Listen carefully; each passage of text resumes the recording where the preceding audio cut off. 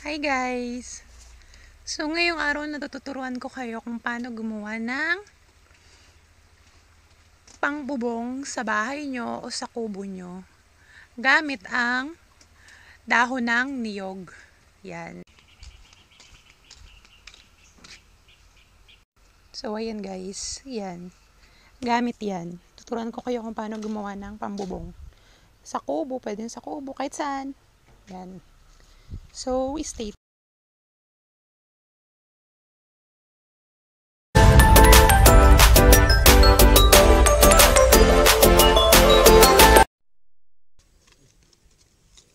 So, ganito, ganito yung magiging pattern yan. So, una, kailangan pa X. Yung dalawa. Pa X. Sunod naman, pa X din. Ganyan. XX lang. Criss-cross. Yan. Then, pa X ng pa X lang. Ganyan. Pa X. Medyo mahirap kasi kailangan kasi naka kailangan naka sagad yung pagkaano ng dahon. Ganyan. So, ayan guys, kukunin nyo to. Papailalim nyo lang siya. Ayan. Ganyan. Ganon din sa isa. Yung sa ilalim lang. Ganyan. Alam siya madali pero mahirap. So, din ganyan na siya. Ganon din sa pang-apat na layer yung dahon. Iilalim mo lang siya. Ilalim.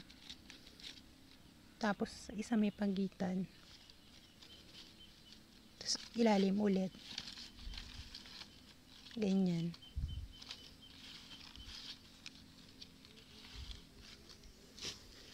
Ganyan. Hanggang sa maging ganito lahat yung hanggang sa dulo. Ayan.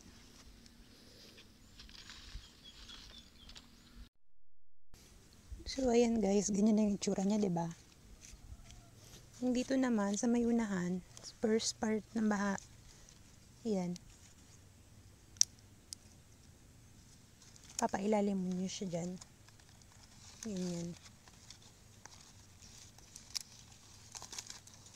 Ayan, ganyan. Ilalim. Tapos dito naman sa ilalim ulit. Basta may pagitan lang ng isa. Ayan.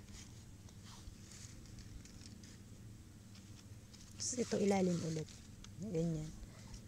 Ganon din sa ano. Pangalawa. Ilalim naman. Ganyan. Tapos ito una, pangalawa. Dito, pangatlo, ilalim ulit. Hanggang sa maging ganyan siya. Yan.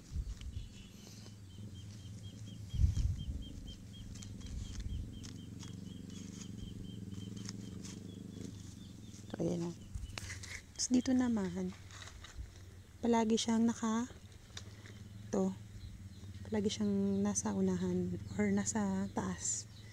Tapos, ipapailalim mo siya dito. Ayan, ganyan ilalim. Yan.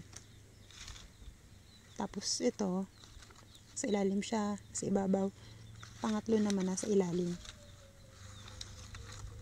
Yan. Ilalim. Sa ibabaw siya at pangatlo nasa ilalim ulit. Yan. So, ganyan lang yung pattern yan guys. Hanggang sa matapos nyo siya hanggang dun sa dulo. So, stay tuned lang. Papakita ko sa inyo yung finished product pagtapos nito. Yan. Ito naman guys, kung paano nyo siya ilalak. Yan, ganyan.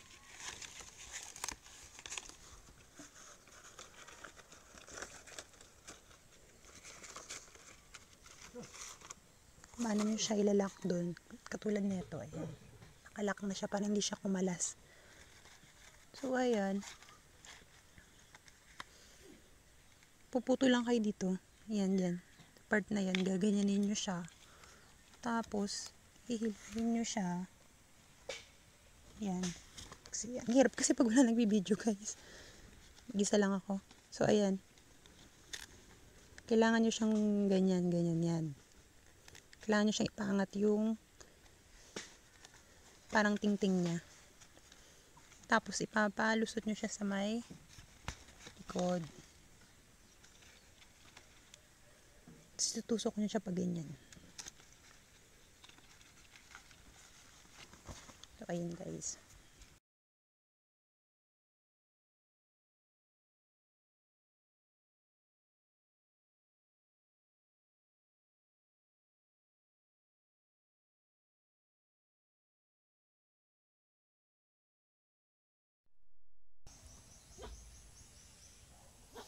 So, ito yung finished product no gawa nating ano um, pambubong.